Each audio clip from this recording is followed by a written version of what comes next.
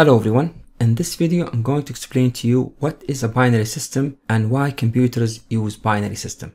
Let us start with this simple story. We have two people, Mike and John.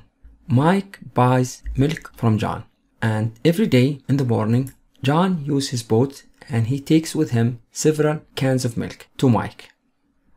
The problem is that John wants to know how many cans of milk that he will take in his boat every day. Mike come up with this idea to let John know how many cans of milk he needs in the morning. He said that I'm gonna use torch. Mike asked John to look over from his island uh, on the night at this torch.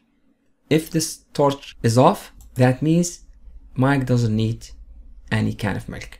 But if that one was on, that means John have to bring one can of milk with him. And if Mike's want, for example, let's say two, he will make this fire bigger. See, instead of this one, he's gonna make it like this one. And if he wants three, he will make it even bigger. John wasn't happy with this idea. Why? Because it's gonna be difficult for him to distinguish between these states. When a state is the size of the fire, is it normal? Is it large? Is it very large? Especially if there is wind at that night. So mainly the issue that John is facing is that this system have many states and it's very difficult for John to distinguish between these states. He will make mistakes. For example, instead of consider this one 2, maybe he consider this one as 3. Not only this, if they want to extend this system to include, for example, 4, that means they have to make this fire larger. If they want to extend it to, to include 5, they even have to make it larger. And this is not a practical because we're going to have many states. And as I said, John will have difficulty to distinguish between these states. So John asked Mike to come up with another idea. And Mike came up with another interesting idea. He told John is that he's going to use two torches. And he asked John to look on the night at these torches. If both of them off, that means John doesn't want milk. But if first one on and the second one off, that means he needs one can of milk. If the second one's on and the first one off, that means Mike wants two can of milk. And if both of them on, that means Mike wants three cans of milk. John was very happy with this system. Why? Because John have only to distinguish between two states, whether it's on and off. That's it. He doesn't have to deal with many states and the size of the fires. And then they agreed about this table. They said we're going to have this table and if both of them off, this is a present 0. If all of them on, this is a present 3. Off, on 1. On, off 2. What I'm going to do now, I'm going to replace these torches with 0 or 1. If the torch is off, I'm going to replace it with 0. If it's on, I'm going to replace it with 1. Something like this. Just to simplify this table.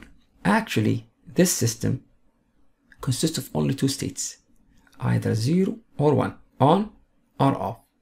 This is why we call it binary system. The good thing about this system is that you can extend it easily. For example, if Mike wants to represent numbers more than 3, he can add another torch. Instead of using 2, he used 3 torches. And the table is going to change, right? Because now we have 3 torches, we have more combinations. If all of them off, that's the present 0. Of all of them on, that's the present 7. If this is off, and this one off, and this one on, this represent 1, and so on. So by adding another torch, what happened? We have more combinations, and we can represent more numbers. In this case, I can represent till 7. This system, as I told you, consists of only two states, with the 0 and 1. We call it binary system. And this system is good for computers. Because at the end of the day computers can represent these on and off by using switches. So you can consider the computer as a collection of switches. If the switch is on this will represent 1 if the switch is off this will represent 0 and in this case we have three switches and as I told you that we can extend this one easily so we start with two switches we can represent four combinations. based on this rule. 2 to the power number of switches. Number of switches 2, 2 to the power 2, we have 4 combinations.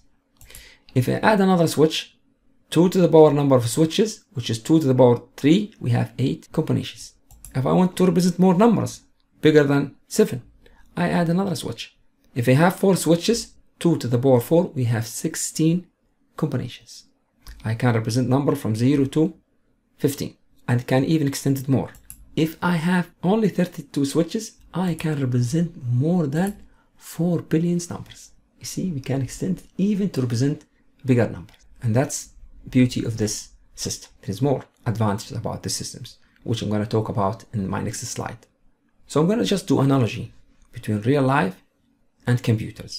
So if you remember John, when we have only two states, he was happy because he can, he said, I can easily distinguish between these two states, right? But when we add multiple states, he have a challenge. Oh, the computer is the same thing. At the end of the day, computer is electronic device, digital electronic device, right? We use voltages to represent the 0 and 1. If the voltage is 0, this one can represent the 0. And we can choose certain value of the voltage, depends on the design. Let's say it's V, to represent 1. And we can say this.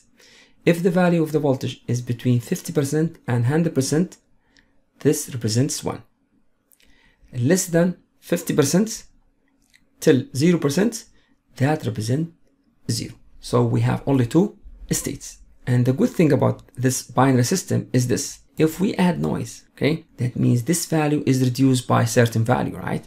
In this case, I chose 30%. So instead of the value was 100%, because of the noise, this one is reduced to 70%. We're still in the safe side. The computer will consider this one as 1. And it's 1. Just because of the noise, it's reduced to 70%. Not only this, if the noise was big, 41%, less than the actual value, we still consider this one as 1. So this system, not sensitive to noise, even if there is noise, it's still working. Because we have only two states. But imagine that we have many states. John faces the challenge to distinguish between these states, which is the size of the files. The computers is going to face the same challenge. If you have many states, in this case I have five, and each value will represent a range or percentage of that voltage, right? For example, from 80% and above represent 4, 60% till 80% represent 3, and so on. We can do that. The problem is this. If we have noise and that value reduced from 100 to 70%, you know what's going to happen? The computer is going to consider that value, which is supposed to be 4, as a 3. In the previous systems, even the noise was 41%, but things works fine without any problems. Here, in this one, the noise reduced the value by 30%, instead of the 4, the computer considered this one as 3. Imagine that the noise was bigger and it's 41%. Instead of consider this the value as 4, it's gonna consider the value as what? As 2. This is why the computer is crying. So having many states is problematic because the, the system will be very sensitive to noise and become unreliable system. So having two states, it's better than having uh, many states because the system that we designed based on two states is not sensitive to noise compared with the system which is based on many states. Just to summarize, we start with the idea of having many states, then we face challenge, which is it's very difficult to distinguish more than two states. The binary system is a system where the numbers are expressed in form of what? Zero and ones. And why we are using this binary system for the computer? It's very simple. It's easy to distinguish between two states. Also, we can easily extend that system. As we saw before, we can extend it even to include more than 4 billions numbers. Also, very important thing is that from digital electronic point of view, it's easy to implement and distinguish two states. Thank you for watching. I hope that you enjoyed my video. If you did, please don't forget to subscribe and drop a like on this video.